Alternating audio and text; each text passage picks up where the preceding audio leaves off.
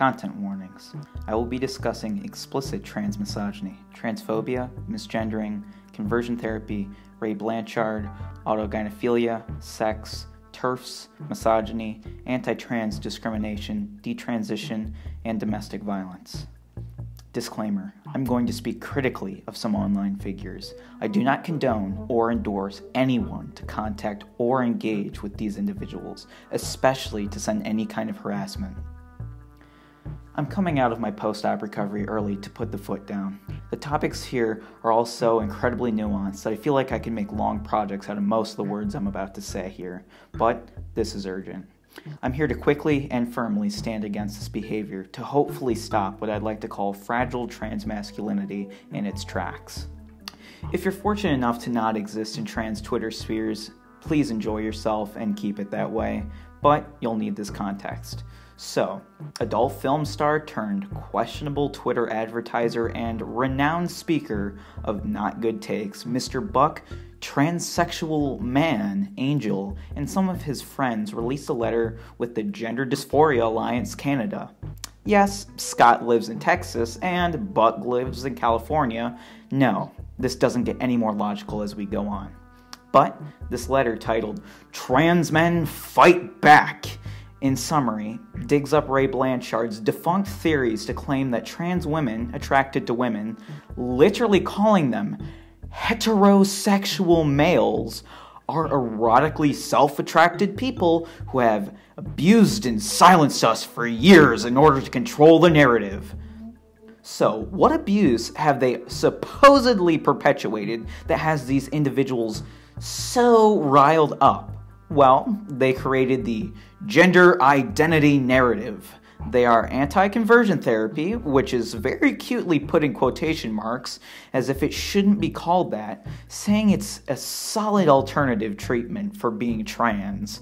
They erase women's spaces and language somehow, and are behind transhumanism. Well, very conveniently, no contextualization or examples of these accusations are provided anywhere aside from a random Wikipedia article link. So, if you take their word for it and have homosexual GD, meaning you're a trans man who likes women, or a trans woman who likes men, or one of the well behaved AGPs, they invited you to join them. How sweet. It's important to know that Buck is bisexual, so guess they graciously allowed him in. It's interesting how the focus is on vilifying trans women who like women, but there's really no mention of trans men who like men, ending the world with cybernetics or whatever. Hmm. Backtracking for our last piece of context, I'll go back to the AGP acronym and Ray Blanchard. Ray Blanchard, recently known for endorsing an article claiming anime turns people trans, in 1989 made his theory to contradict the accepted model that a trans person's gender identity and sexual orientation were unrelated. He focused on trans women, claiming there was two key kinds: trans women who transitioned to avoid being gay for liking men, and all other kinds of trans women who transitioned because they were attracted to the idea of becoming a woman, aka those with autogynephilia, aka AGP. This theory is debunkable in various ways, especially considering the fact that many cisgender women have sexual fantasies tied to being feminine. Many cisgender people have a fantasy of cross dressing or swapping bodies. This theory plays right into the over sexualization of trans women that TERFs often rely on to try to prove that trans women are somehow sexual deviants or perpetuators. To understand more on this, please check below for links and articles by the amazing Julia Serano. Now, with the full picture, it's easy to see the issue is let's sacrifice trans women and show TERFs we like this bad scientist they love so they can take us true transsexuals seriously. Obviously, these are some extreme viewpoints that don't represent trans men or trans masculine people as a whole, but it does highlight the dangers and reality of unchecked trans misogyny spread in trans spaces. Some of the response to this letter in the trans masculine community have absolutely highlighted this issue. That's mainly my goal today to point out transmasculine fragility and how it's a reaction to trans misogyny and conversations around it. As someone who is transmisogyny exempt, TME, it's crucial for me to stand against this behavior, condemn the AGP theory, oppose transmisogyny, and show open ears and solidarity to transmisogyny affected TMA people. Being TME doesn't suddenly, or ever for that matter, claim that I've never experienced misogyny, transphobia, or any hardships at all in my life. All TME means is I haven't experienced trans misogyny specifically. I'm exempt from it. It literally nothing more. So, let's define trans misogyny to better understand this. Transmisogyny was coined back in 2007 by Julia Serano in her book Whipping Girl and is hard to wrap up in a concise definition. We live in a society that treats manhood as the peak of the gender lottery, the strongest, the most fortunate, and the most privileged, the best gender to be. Misogyny itself tells us that womanhood and femininity are feeble, incapable, and unwanted. Serano gracefully walks us through how, in this system, there is no greater threat than trans femininity, to be born with male privilege and to choose to reject it, offending the supremacy manhood is supposed to have. With this in mind, trans femininity is more subversive as trans masculinity can be societally rationalized as sympathetic to those born without male privilege, choosing to escape misogyny through manhood, proving manhood's perks. So, transmisogyny specifically targets and condemns trans feminine people because of that accused subversion of male supremacy and misogyny towards their femininity slash womanhood. Because of these ideals, different transitions face different discrimination. Serano tells us how trans feminine people face a disproportionate amount of social attention and demonization due to their perceived threat to masculinity, while trans masculine people alternatively go overlooked in comparison.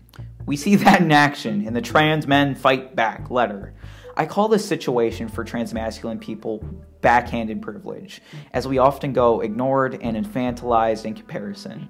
This gives us more benefit of the doubt and less targeted harassment, but in no way makes our situation good, let alone ideal whatsoever.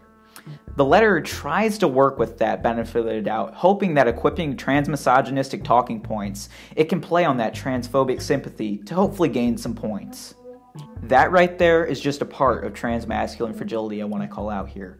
Trans Men Fight Back is a more blatantly evil example of playing rather directly into explicit transphobia, but there's a common, subtle issue too. Some trans men and trans masculine people seem to think that even bringing attention to trans misogyny is somehow an erasure of their struggles or an invitation to debate who subjectively has it worse among trans identities. I'll say it now, it's not. A good example of this is the infamous Trans Man Reads Detransition Baby Twitter thread. I really can't prepare you for the amount of sheer entitlement you're about to see. It's hard for me to even understand. This was genuinely written and not satire. It's not as much of a review as it is a transmisogynistic manifesto, and this screenshot sums up the situation fairly well. This just seems like giving away the plot rather than a review. Correct? Essentially, our protagonist, Evan, here went into Torrey Peters' national best selling book, Detransition Baby, with the quest to not necessarily read it, but to critique it for its transmasculine representation. All at the same time, Peters was receiving threats from groups who believe she shouldn't have received a nomination for the Women's Prize for Fiction because she is trans. You'll notice Evan is great with coincidental timing like this. With this information alone, it makes our game of spotting trans misogyny fairly easy, but it only gets worse from here. Just a few tweets in, we get this disclaimer to set the tone. This poor book, it really doesn't deserve me as an audience, named least likely to care about romance and babies by my middle school class. Me. If only it had like one spaceship or a few robots or was set in Africa. I'm really going to be nice. I promise. I. Uh, Hmm. Well, if we can recover from that horrible start, we can somehow see it devolve further. To finish, I should talk about how the book views detransition. Peters describes it thus The purview of conversion therapists and tabloid headlines, the topic of detransition was boring. The reasons for it were never complex. Life as a trans woman was difficult. There's little more, but this quote captures the tone.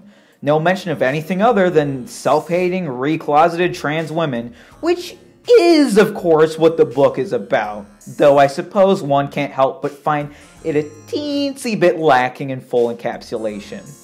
There's no need to belabor this point, though. The book doesn't mention exactly how detransition is treated in the tabloid headlines or who, apart from trans women, might be most hurt by this. It also has the word detransition in the title. Unless that changes, I won't revisit. Evan, this book is focused on and about women. I'd call this a reminder, but he never seemed to actually get that in the first place. Reese then goes on this head trip about how being hit proves her womanhood, and honestly, I didn't get it. If it resonates with trans women, then I have nothing to say in contrast. It doesn't ring even a little true to me as a trans man who's been hit, but why would it? Yeah, you're really backing up my point here, buddy. Can we please just take the book at face value instead of how it should be applied to you and your masculinity? So, anyway, the trans girl parts were very alienating, just made me despise the character. I kept being pulled out by wondering if people could possibly find them realistic. But it did connect on enough of a level for me to want to give the benefit of the doubt to Peters. Well, there we go. My question is answered. No, he cannot just take a trans woman writing for what it is. Gotta cater to Evan, or it's despicably unrealistic because it's Evan's world after all. Well, this is obviously just a very small chunk of the thread, but it shows well enough the entitlement of wanting to be a part of personal trans feminine conversations, talking over and devaluing their experiences because of your focus on your own. Especially with the knowledge of harassment Peters was facing. Seeing that and turning it into, but does she care about my feelings in her book? If this didn't aggravate you enough, don't worry. He did something similar after the Trans Men Fight Back letter. As you can guess, that letter has sparked larger conversations about trans misogyny, especially how it appears in trans spaces from TME people, and Evans successfully proved it with another great example through his behavior. In this tale, Evan finds a thread by Kai where she calls for unity, pointing out harmful transmisogynistic stereotypes and violence that trans femmes face. Over halfway through, as Kai begins to speak about her personal experiences in seeing transmasculine people in places of privilege and power, that sends our friend Evan reeling into another poorly received thread. Don't worry, before this thread, Evan did do his little dose of Don't worry, I'm not transmisogynistic, and signed a wonderful little letter. I sign this. I don't think trans men should have to apologize whenever a trans man acts like a dick, but since Buck Angel, etc., purported to be speaking for trans men, it's worth getting as many names as possible on the record saying they can't speak for us. So don't worry, he's he's not trans misogynistic, guys. I was so worried. But the thread. I know people are hurting, but the people in the trans community who have attained relatively higher levels of wealth and power are white trans women, and I don't see how I can pretend it's trans men. I'm afraid to say this publicly because I fear it will hurt my own career prospects, but the handful of trans people who have achieved any respect are trans women. I don't think I can pretend that's not the case. For instance, the only trans person with a New York Times opinion column is a trans woman. It's Jenny Boylan. She's great. I don't begrudge her anything. But if you look at journalism, you can easily name three or four prominent trans women. Trans men are nobodies. It's not even close. I don't say this to begrudge anyone or their success. I think trans misogyny is awful, and we need to be aware of it and condemn it. But trans women seem to think trans men have some kind of power or privilege, and I. I think I might need some proof. Because my observations might be wrong, please correct me. But I don't count many trans men in positions of power or wealth. There aren't a lot of trans people in such positions, but of those there are, it's not mostly trans men. I know that trans men have the word man in our identity, but I'm asking you to consider for one moment that it might not be worth a hill of beans. The visibility trans feminine people have is something I'd also describe as a backhanded privilege. Sure, there's more awareness of trans femininity and more available representation, but it comes at the cost of being at the forefront and disproportionate focus of transphobic onslaughts of criticism, rage, and violence.